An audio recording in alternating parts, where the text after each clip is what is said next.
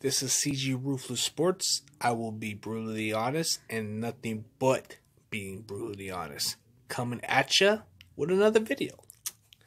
Anyways, the 49ers did sign Nate Sudfeld, which means Nick Mullens ain't coming back, which means that Josh Rosen's roster spot is not safe. It's going to be open competition for the third string spot.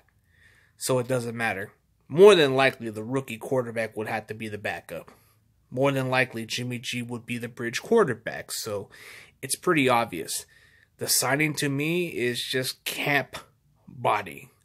It's going to be competition throughout the offseason. So I think it's an okay signing because the guy knows the system.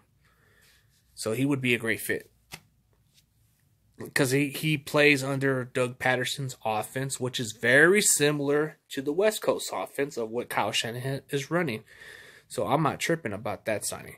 It's just camp body depth wise, you know, it's good. And the update to the 49ers having Justin Fields on their second pro day visit, it's just speculations that maybe we are interested and it's leaning towards him. I got a feeling that it could be. We'll see.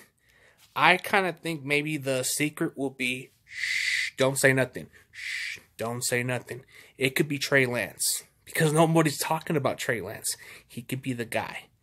Justin Fields, Mac Jones, the media are hyping those two. But is anybody talking about Trey Lance? Usually the front office doesn't put stuff out there. Maybe we are interested of Trey Lance. I'm just saying, what do you guys think? hit the like and subscription. And CG Ruthless Sports is out. And go Niners.